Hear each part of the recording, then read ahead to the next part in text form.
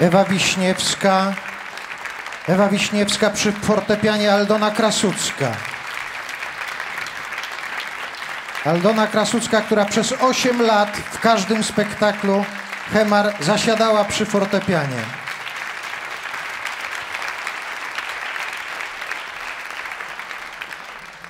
Proszę Państwa, bardzo ważna część twórczości Wojciecha Młynarskiego, tłumaczenia. Tłumaczenia piosenego Kudżawy, Wysockiego, Brela, Brassensa, jego ukochana piosenka francuska.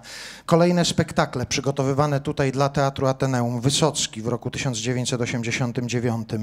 Te tłumaczenia, Wojciech Młynarski czasami posługiwał się e, takim sformułowaniem, że z tłumaczeniem jest jak z kobietą, że jak wierne to niepiękne, jak piękne to niewierne, ale w jego przypadku okazywało się, że one mogą być równocześnie i wierne, i piękne. Więcej, nawet wierniejsze i piękniejsze od oryginału niejednokrotnie.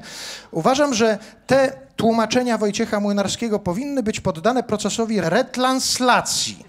Tego słowa jeszcze nie było, zanim ja go, zanim ja go użyłem. Retranslacji, czyli ponownego przetłumaczenia, żeby słuchacze na przykład w Rosji, we Francji mogli posłuchać, jak brzmią te piosenki przetłumaczone przez Wojciecha Młynarskiego, bo niejednokrotnie były piękniejsze od oryginału, tak trzeba sobie to szczerze powiedzieć. I teraz Państwo usłyszą kilka piosenek, które właśnie powstały w ten sposób, że Wojciech Młynarski przetłumaczył teksty swoich ukochanych twórców do spektakli, które tutaj w tym teatrze były grane. W kolejności przedstawią je Państwu Wojciech Brzeziński, Marian Opania, Grażyna Strachota i Artur Barciś.